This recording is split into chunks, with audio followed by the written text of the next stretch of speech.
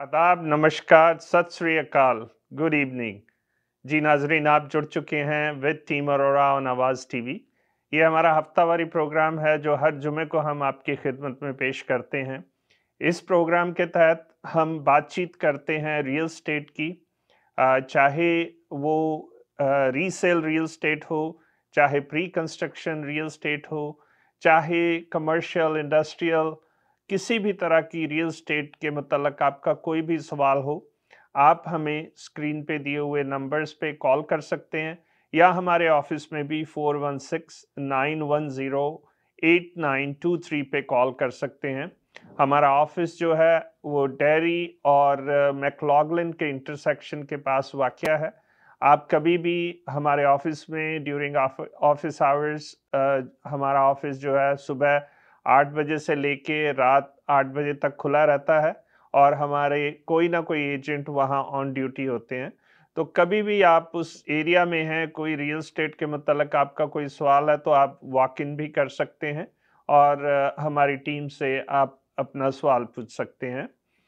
या आपकी कोई ज़रूरत हो रियल स्टेट के मतलब जैसे मैंने कहा कि हम रियल स्टेट के सभी शोबों में जो है हम डील करते हैं, चाहे आपका कोई बिज़नेस बाय और सेल करने का इरादा हो, चाहे कोई प्रॉपर्टी जो रेजिडेंशियल है, वो बाय सेल करने का इरादा हो, या आप प्री कंस्ट्रक्शन में कोई बुकिंग करवाना चाहते हैं ऑन्टेरियो में करवाना चाहते हैं, या ऑन्टेरियो से बाहर किसी दूसरे सूबे में, और या इवन आप यूएस के बारे में भी सोच रहे हैं तो हमारी टीम आपकी इसमें हेल्प कर सकती है। तो बातचीत करते हैं दिनेश जी, जैसा कि हमारा आज का टॉपिक है कि Canadian government policies versus real estate तो जब हम पीछे देखते हैं, आज से यू नो काफ़ी साल पहले अगर जो करंट गवर्नमेंट है हमारी, इससे पहले दूसरी पार्टी की हुकूमत थी हमारे देश में तो अगर देखा जाए तो हर एक पार्टी जो भी पार्टी पावर में थी पहले तो उन्होंने ऐसी पॉलिसीज़ बनाई जिसकी वजह से आज हम जिस दौर से जो पब्लिक है और जो हमारा देश है वो गुज़र रहा है डेफिनेटली ये गवर्नमेंट पॉलिसीज़ का ही नतीजा है। अगर देखा जाए तो जो हमारी गवर्नमेंट की पॉलिसीज़ हैं रिगार्डिंग क्योंकि हमारा जो कनाडा है वो एक इमिग्रेंट बेस्ड कंट्री है। आ, हमारी आ, जब से इमिग्रेशन यहाँ पे शुरू हुई है उसके बाद ही इसकी पॉपुलेशन जो है आ, वो आ, एक अच्छी दर से बढ़नी शुरू हुई है। पहले तो आ, ये सुना करते थे कि इनकी पॉपुलेशन जो है वो नेगेटिव में जा रही है। आ, तो वर्कफोर्स तो एक आ, मतलब आ, बहुत अच्छा तरीका था इमिग्रेशन का जो तरीका था वर्कफोर्स को इंक्रीज करने के लिए। आ, लेकिन विद टाइम ये पॉलिसीज़ जो हैं मेरे ख्याल से काफ़ी लंबे अरसे तक इनको रिव्यू नहीं किया गया और जिसका नतीजा हम ये देख रहे हैं कि हमारी अगर हम इमिग्रेशन पॉलिसी को ले लें उसके बाद अगर हम अपने इंफ्रास्ट्रक्चर को देखें अपनी जॉब मार्केट को देखें तो कहीं ना कहीं लगता है कि जो इम्बैलेंस क्रिएट हुआ है इस इस सब में। तो अगर हम रियल स्टेट के हवाले से देखें तो आपको क्या लगता है कि क्या फैक्टर रहे हैं जो इस रियल स्टेट मार्केट को इतना नीचे जो है अब हम देख रहे हैं? संजय मेरे को जो लगता है कि जो रियल एस्टेट की मार्केट है ये एक बहुत हम जैसे सभी इसके बारे में अवेयर हैं कि एक बहुत बड़े क्राइसिस के अंदर चल रही है अभी राइट नाउ डेफिनेटली और ऐसा नहीं है कि ये क्राइसिस जो है ये एक ही दिन का रिज़ल्ट है। नहीं इसके पीछे बड़ी देर तक पहले चीज़ों को ध्यान ही नहीं दिया गया वो सोचा ही नहीं गया इस चीज़ के ऊपर की जो चीज़ें जो पॉलिसीज़ अब बन रही हैं वो कहीं ना कहीं जाके आगे क्राइसिस क्रिएट इनका इम्पैक्ट क्या होगा या और दूसरी बात यह है पहले भी क्राइसिस रहे हैं पहले भी ऐसे अप डाउन आए हैं पर इतना लंबा कभी नहीं हुआ कि इतनी देर तक रियल एस्टेट मार्केट संभल ना पाई। जी जी। तो कहीं ना कहीं जैसे आपने कहा कि दो तीन चीज़ों की चाहे वो कोई भी गवर्नमेंट रही हो दो तीन चीज़ें वो मेरे को लग रहा है शुरू से देख नहीं पाए। सबसे तो एक बड़ी बात जो मेरे को पहले लग रही है कि जो इमिग्रेशन की पॉलिसीज़ हैं उनके ऊपर कोई अच्छे से मेरे को लग रहा है काम नहीं किया गया। तो देखा जाए तो बहुत सारा जो हमारा बजट है अब देखिए कनाडा में दो तरह के लोग हैं। एक तो स्टेटस के साथ हैं जिनका यहाँ कोई स्टेटस है और एक विदाउट स्टेटस है। जी। जो बंदे विदाउट स्टेटस हैं उनको देखा जाए तो उनके ऊपर कनेडियन गवर्नमेंट का बहुत बड़ा मतलब एक्सपेंस है। बिल्कुल। तो इकोनॉमी को उसने काफ़ी डावाडोल किया हुआ है। जी। जबकि होना ये चाहिए था कि जो किसी स्टेटस के साथ यहाँ आ रहे हैं वो यहाँ काम भी कर रहे हैं यहाँ टैक्स भी दे रहे हैं वहाँ से अपनी फंडिंग भी लेके आ रहे हैं। बिल्कुल। तो वो तो कहीं ना कहीं इकोनॉमी को एक पॉजिटिव दिशा देने की कोशिश करते हैं। बिल्कुल। But on the same time जो बंदो यहाँ जो भी नॉन स्टेटस के ऊपर हैं लोग यहाँ पे। उनका इकोनॉमी को नेगेटिव ले जाने में एक बहुत बड़ा रोल है। जी। अब जैसे हम पीछे देख रहे थे कि कुछ ऐसे बंदे जिनका स्टेटस नहीं है यहाँ पे एक रफली लगाया जाए कि एक होटल की अगर हम बात करें तो एक होटल में एक रूम है जो रफली 220 डॉलर पर नाइट के लिए है। जी। तो अगर उसके अंडर 100 रूम्स हैं और वो होटल छह महीने के लिए कनेडियन गवर्नमेंट ने रेंट पे लिया हुआ है उसको लीज के ऊपर लिया हुआ है सिक्स मंथ के लिए और उसमें सारे ही वो नॉन स्टेटस के जो सिटीजन हैं वो उसके अंदर हैं। बिल्कुल। तो देखिए वो इकोनॉमी के ऊपर रफली आप लगा के चले तो चार मिलियन का एक बर्डन है छह महीने के अंदर। बिल्कुल। और वो चीज़ें वहाँ से कब उभरेंगी? वेरी डिफ़िकल्ट टू से जी। और दूसरी एक मेरे को बहुत बड़ा ये पार्ट लगा भी जो शुरू से जिसके ऊपर ध्यान नहीं दिया गया वो था कि मैन्युफैक्चरिंग को यहाँ कभी भी प्रमोट नहीं किया गया। मैन्युफैक्चरिंग की जो कोई भी ऐसी पॉलिसी ताकि यहाँ एक मैन्युफैक्चरिंग हो यहाँ का कोई प्रोडक्ट बने जो बाहर कहीं जाए। अब यहाँ क्या है कि यहाँ हम सारी चीज़ों के लिए बाकी दूसरी कंट्रीज़ के ऊपर डिपेंडेंट है। चीज़ वहाँ बनेगी वहाँ से यहाँ आएगी ट्रांसपोर्ट के ऊपर। तो जैसे ही यहाँ कोई इंटरेस्ट रेट के अंदर ये चेंज करना चाहते हैं पर ऑन द सेम टाइम क्योंकि जो ट्रांजेक्शन है वो यूएस डॉलर के अंदर होती है तो वहाँ इनका जो इम्पैक्ट है वो बढ़ जाता है यहाँ इन्फ्लेशन बढ़नी शुरू हो जाती है। बिल्कुल। तो कहीं ना कहीं ये अब चाह कर भी इंटरेस्ट रेट को कम करना जो है इनके हाथ में इतना इजी नहीं रह रहा है क्योंकि इनको ग्लोबली दूसरे वेंडर्स के साथ भी कम्पीट करना है। जी। तो ये दो तीन चीज़ें अगर शुरू से ही थोड़ी प्लान की होती थोड़ा ध्यान दिया होता ताकि इस तरह के बंदे यहाँ पे आए इमिग्रेशन इस तरह की हो जो इकोनॉमी को पॉजिटिव नेस की तरफ़ ले जाने के लिए कंट्रीब्यूट करें। तो ये एक बहुत बड़ा फैक्टर हो सकता था। और सेकेंडली था कि मैन्युफैक्चरिंग एक हब बनाया जाए मैन्युफैक्चरिंग को यहाँ प्रमोट किया जाए ताकि लोगों को यहाँ काम मिले वही गवर्नमेंट को वहाँ पैसा मिले और हम हर चीज़ के लिए बाहर डिपेंडेंट ना रहे। जी। आ, देखा जाए तो आ, जो पॉलिसीज़ हैं वो कहीं ना कहीं आके रियल स्टेट को अफेक्ट करती हैं। जैसे कि पहले तो गवर्नमेंट ने ध्यान नहीं दिया इंटरेस्ट रेट इतने ज़्यादा लो कर दिए जिसकी की ज़रूरत नहीं थी। और उसकी वजह से क्या हुआ कि मार्केट में लोगों ने ये सोच लिया कि जितना भी हो सकता है मार्केट से आप कर्ज जो है वो उठा लो। इंटरेस्ट रेट जो है बिल्कुल ना के बराबर था। लेकिन जब इन्होंने इंटरेस्ट रेट बढ़ाया तो ओवरनाइट ही समझ लीजिए बढ़ा दिया इन्होंने। आ, इतना ज़्यादा कि वो लोग जो हैं वो प्रॉब्लम में आ गए। रियल स्टेट में से इन्वेस्टर गायब हो गए। जी।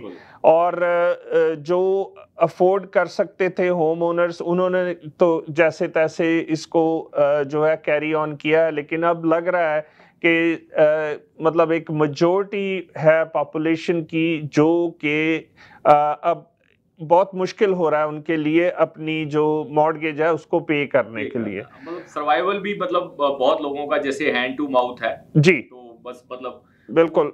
शुरू में जैसे चीज़ें कंट्रोल नहीं हुई तो फिर वो आगे चल के डीरेल होती है बिल्कुल। अब मतलब कई बार लोगों से मुलाकात होती है तो ये चॉइस है कि वो अच्छा खाना खाएँ, अपना जो स्टैंडर्ड ऑफ़ लिविंग है, उसको मेंटेन करें कि अपने मकान को बचाएँ। तो मतलब कहीं ना कहीं हम ये देख रहे हैं कि गवर्नमेंट की पॉलिसीज़ की वजह से ही हम इस क्राइसिस में पहुँचे हैं। जतिन, आपको क्या लगता है कि जैसे कि अभी पीछे गवर्नमेंट ने बैंक ऑफ़ कनाडा ने एक इंटरेस्ट रेट कट किया था पॉइंट टू फाइव बेसिस का। और अभी एक्सपेक्टेड है जो सारी इंफॉर्मेशन आ रही है, जो इकोनॉमिस्ट जो पेश नगोई कर रहे हैं प्रडिक्शंस कर रहे हैं कि 24 जुलाई को, अगले हफ़्ते बुध को जो है एक इंटरेस्ट रेट और कट जो है वो और एक्सपेक्टेड है। तो अगर आप इसको रियल स्टेट के मायने में देखें तो आप क्या देखते हैं? कि मार्केट में इसका कुछ इम्पैक्ट रहेगा? सैम जी जैसे भी अभी आपने बताया कि जो रेट कट की अनाउंसमेंट है और जो इन्फ्लेशन की हमारी रिपोर्ट आई है वो थोड़ी पॉजिटिव है लास्ट मंथ की रिपोर्ट से। तो एक्सपेक्टेड है कि 0.25 का शायद चेंज आए। बट जैसे कि आप जानते हैं कि कई कई एरियाज़ में इन्वेंट्री इतनी ज़्यादा है कि एक 0.25 के इंटरेस्ट कट से कुछ ज़्यादा इम्पैक्ट नहीं आएगा मार्केट पे। हम्म। जो हमें लगता है अगर वो भी इंटरेस्ट रेट अगर डिक्रीज होता है तब की बात कर रहा हूँ मैं। जी जी। वैसे अगर हम फ्यूचर देखें बट इसलिए इस एक ट्रस्ट रेट कट से जो बायर्स का कॉन्फिडेंस कॉन्फिडेंस है मार्केट पे ऑन्टारियो की मार्केट में वो ज़रूर बिल्डअप होता है। तो ये एक पॉजिटिव न्यूज़ है। बिल्कुल। आ, जैसा कि आपने भी कहा कि इतने छोटे से कट से तो कोई बहुत लंबा चौड़ा जो है वो इफ़ेक्ट होने वाला नहीं है। आ, लेकिन डेफिनेटली एक जैसे कहते हैं ना कि वो शुरुआत हो गई है और जो बायर थे क्योंकि देखिए बहुत सारे लोग ऐसे हैं जो क्वालिफाई करते हैं लेकिन उनके मन में ये डर है कि कहीं मतलब अब, अब से पहले ये डर था कि कहीं और ना इंटरेस्ट रेट बढ़ जाए और अब बनाएँ या अभी जी। और वेट कर लें ताकि और कोई प्राइस ड्रॉप हो तो थोड़ा सा और एग्जैक्टली एग्जैक्टली तो इसको अगर आप दिनेश जी देखते हैं तो आ, ये जो इस वक्त की मार्केट है आ, जो कोई क्वालिफाई करता है, चाहे वो फ़र्स्ट टाइम बायर है, चाहे वो अपग्रेड कर रहे हैं। तो क्या आप सोचते हैं कि बाइंग के लिए ये अच्छा टाइम है?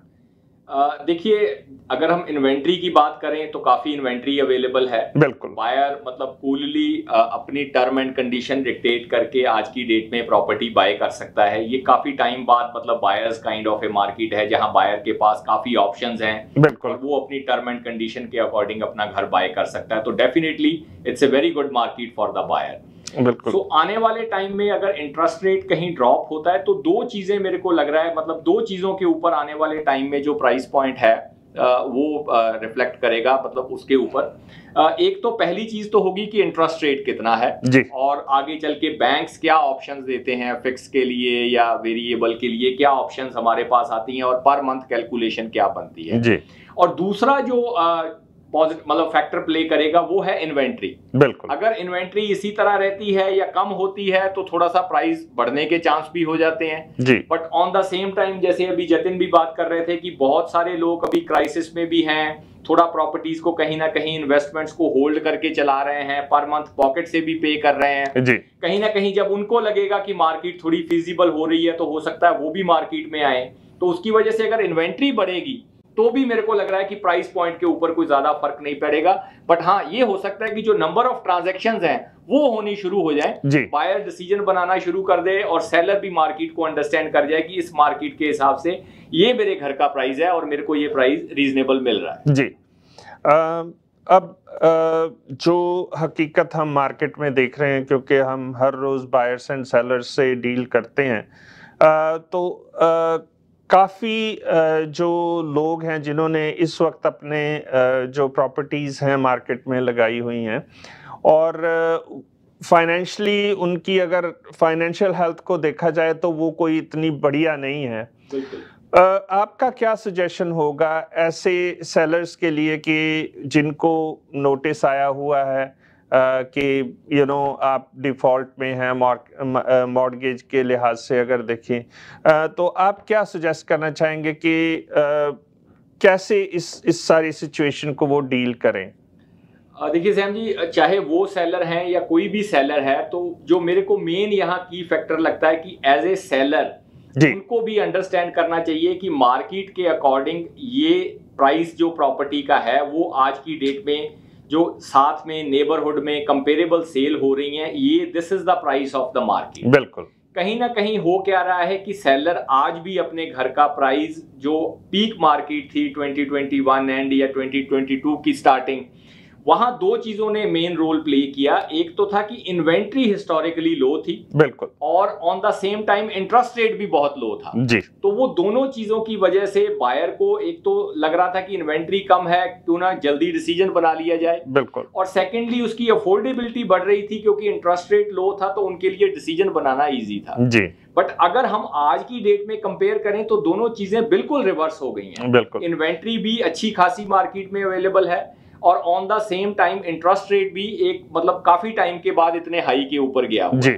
तो कहीं ना कहीं सेलर्स को भी ये अंडरस्टैंड करने की ज़रूरत है कि आज की डेट में जो नेबरहुड में जो कंपेरेबल सेल हो रही हैं उन्हीं के अकॉर्डिंग अपने घरों की प्राइस भी एडजस्ट करनी चाहिए if they really want to sell it अगर क्योंकि प्राइसिंग हम ठीक नहीं करते ओवर करते हैं फिर लिस्टिंग भी मार्केट में काफ़ी देर स्ट्रगल करती है और एंड ऑफ़ द डे हमें अपना गोल नहीं अचीव होता या हमें अपने मतलब के रिज़ल्ट नहीं मिलते। तो दे हैव टू अंडरस्टैंड कि आज की मार्केट की कंडीशन से ये प्राइस है घर की। और अगर उनको लगता है कि इस प्राइस के ऊपर सेल करके वो आगे की अपनी कोई कमिटमेंट ऑनर कर सकते हैं या कोई आगे का डिसीज़न इसके बेस पे बनाना चाहते हैं तो सही जो घर की राइट प्राइस है उसके ऊपर ही बनाया जाए। ऐसा परसेप्शन में ना रहे कि नहीं उस टाइम इस तरह का था तो आज भी कोई ऐसा बायर आ जाएगा। आने को वो चीज़ें हो सकती हैं बट चांसेस उनके नेग्लिजिबल होते हैं। कम होते हैं ग्राउंड रियलिटी को अंडरस्टैंड करके अपने घर की सही इवेल्युएशन देखी जाए कि राइट नाउ ये प्रॉपर्टी का मेरा प्राइस है। और फिर डिसाइड किया जाए कि इस प्राइस को अगर मद्देनजर रखते हो उन्होंने आगे कोई डिसीज़न लेना है या अभी कोई मार्केट में उन्होंने वेट करनी जी। वैसे भी देखा जाए तो जो बायर है प्रॉपर्टी कैसे बाय करता है वो कंपैरिजन शॉपिंग के लिहाज से प्रॉपर्टी बाय करता है। वो आठ दस जिस एरिया में भी उनको प्रॉपर्टीज़ लेनी है बाय करनी है आठ दस प्रॉपर्टीज़ उस एरिया में देखता है। फिर वो कंपेयर करता है कि उसके डॉलर की बेस्ट वैल्यू किस प्रॉपर्टी में से उसको मिल रही है और उसी प्रॉपर्टी को वो बाय कर लेता है। तो अ, हमें ये एज दिनेश जी ने भी जैसे कहा कि ये बात हमें ध्यान में रखनी पड़ेगी कि हमारी जो प्रॉपर्टी है बनस्पत दूसरी प्रॉपर्टीज़ के क्या वैल्यू प्रपोज कर रही है क्या वैल्यू ऑफ़र कर रही है एक बायर की नज़र से। या तो उसके अंदर जी। आपके फीचर स्ट्रांग होने चाहिए बिल्कुल। या वो प्रॉपर्टी जो है वो मार्केट के प्राइस के अकॉर्डिंग स्टेबल बिल्कुल उसके ऊपर। बिल्कुल। तो नाजरीन यहाँ वक्त हो चला एक छोटे से ब्रेक का। हम ब्रेक पे यूँ गए और यूँ वापस आए। आप देखते रहिए team Arora with on Awaaz TV अगर आपको दुबई या मिडल ईस्ट नुमा जेवरात की तलाश है तो आपको दूर जाने की बिल्कुल ज़रूरत नहीं। आज ही हमारे Mississauga Ridgeway. स्टोर तशरीफ़ लाइए। अल करम ज्वेलर्स। हमारे पास सोने के बेहतरीन कंगन कड़े झुमके हार और सोने के सेट्स भी दस्तियाब हैं। शादी हो या मेहंदी या कोई भी फ़ंक्शन आपकी पसंद के तमाम जेवरात आपको हमारे स्टोर में मौजूद मिलेंगे। आज ही हमारे स्टोर पर तशरीफ़ लाइए। Al Karam jewellers 3465 platinum drive unit 99 Mississauga या फिर कॉल करें 905 828 0009 अल करम ज्वेलर्स फरमाइश आपकी गारंटी हमारी।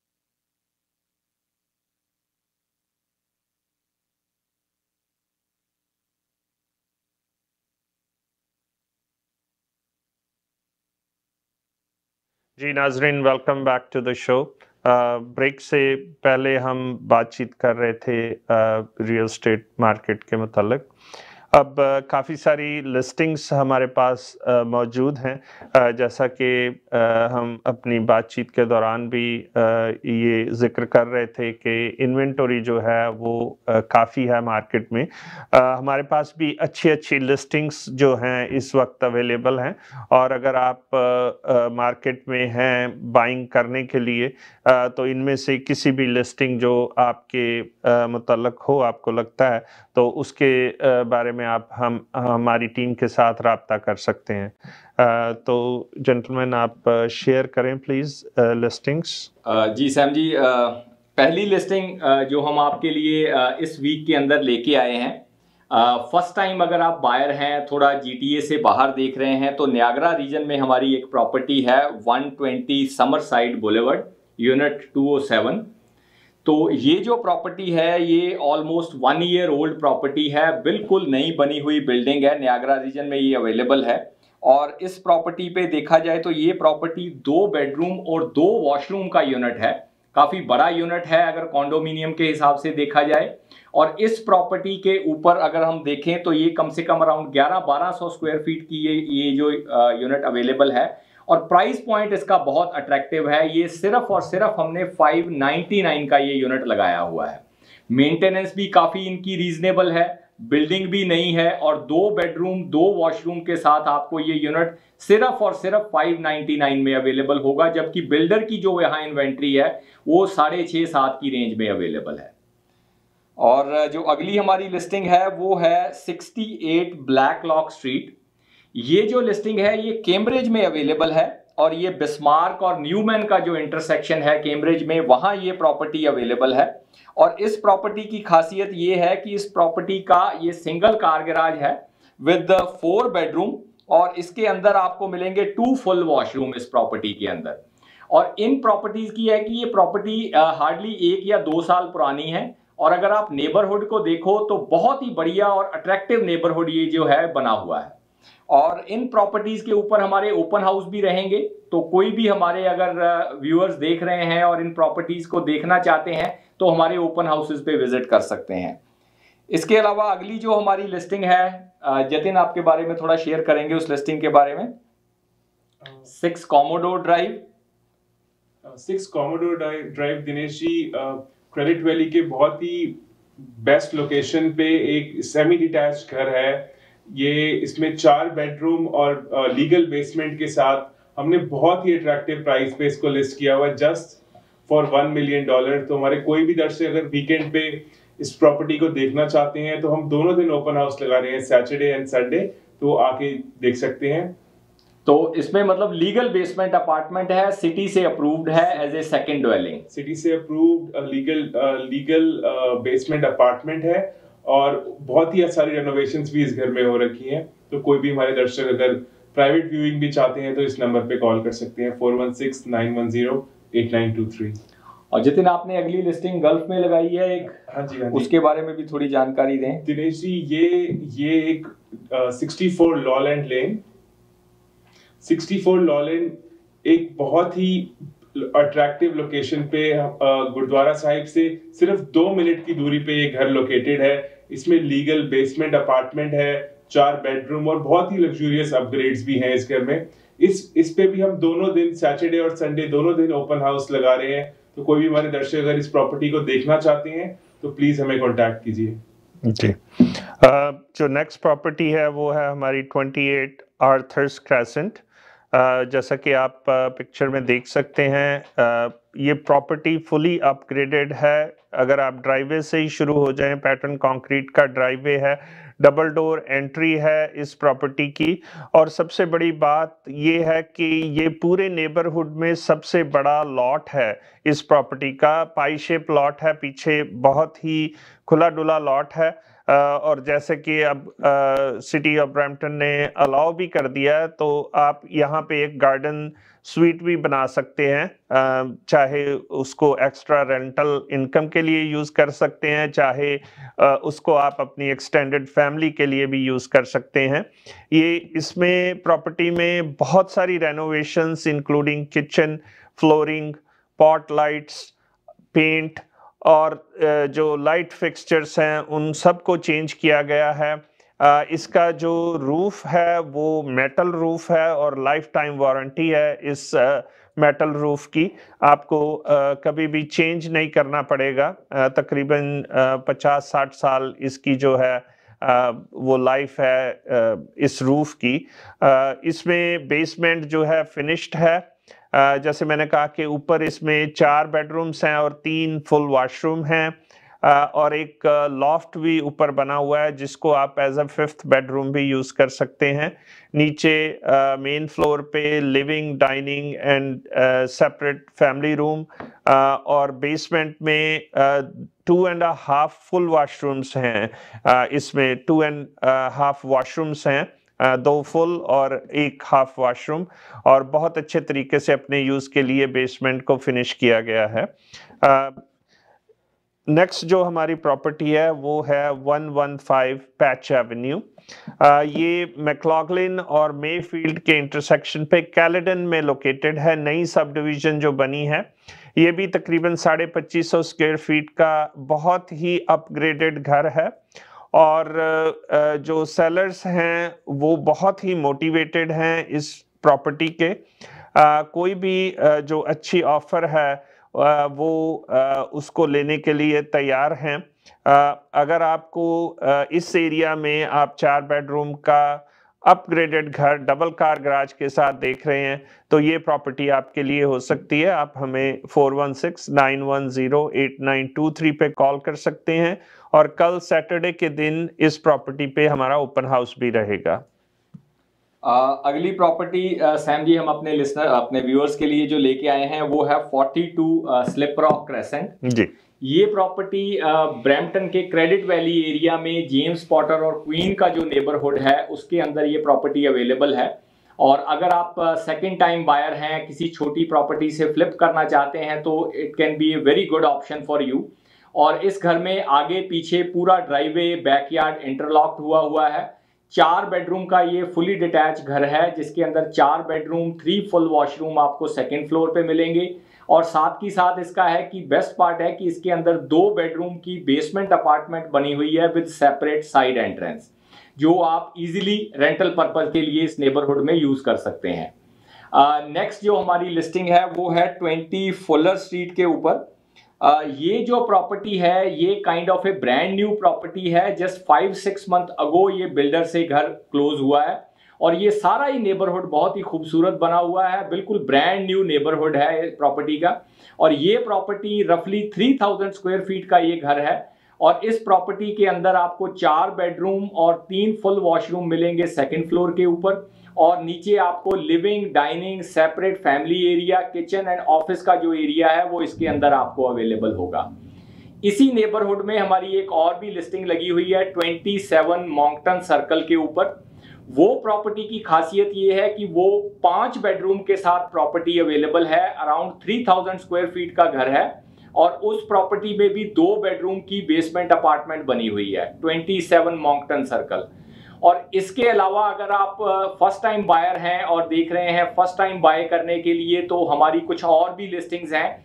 फाइव पेन स्ट्रीट के ऊपर हमारी एक लिस्टिंग लगी हुई है। सेमी डिटैच घर है रफली 850 की रेंज में। इसके अलावा अगर आप फाइनेंशियल और स्टील के नेबरहुड में देख रहे हैं तो वहाँ हमारा एक टाउन हाउस है 148 स्काई हार्बर और वो जो है, वो फोर बेडरूम का है with finish basement and unit town और उसी नेबरहुड में हमारा एक सेमी डिटैच घर है अराउंड 2400 स्क्वायर फीट का, जिसमें चार बेडरूम और आपको तीन फुल वॉशरूम मिलेंगे।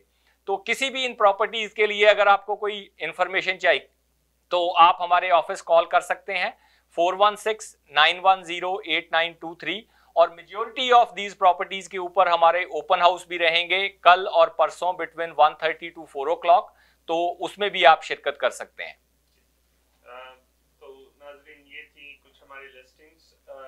मसलन जैसे कि हमने लिस्टिंग्स आपके साथ शेयर की हैं चाहे आपकी ज़रूरत वन बेडरूम अपार्टमेंट की हो और चाहे आपकी ज़रूरत three car garage 5000 plus square foot feet का घर with you know big lot हमारे पास full range of properties available है, छोटी से छोटी प्रॉपर्टी और बड़ी से बड़ी प्रॉपर्टी आप किसी भी एरिया में देख रहे हैं, वो हमारे पास मौजूद है या हमारे हमारे पास उस प्रॉपर्टी की एक्सेस है।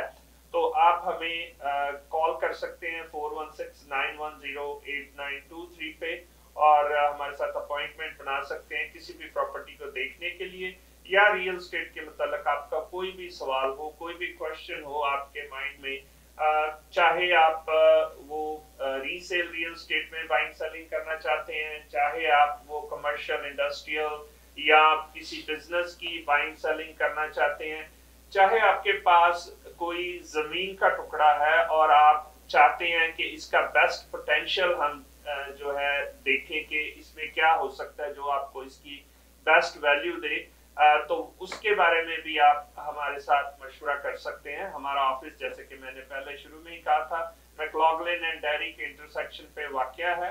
आप कभी भी वॉक इन कर सकते हैं वर्किंग आवर्स के दौरान। और नेक्स्ट वीक आपके लिए एक और प्रोग्राम लेके हाजिर होंगे। तब तक के लिए हमें इजाज़त दें। शपथ है। Thank you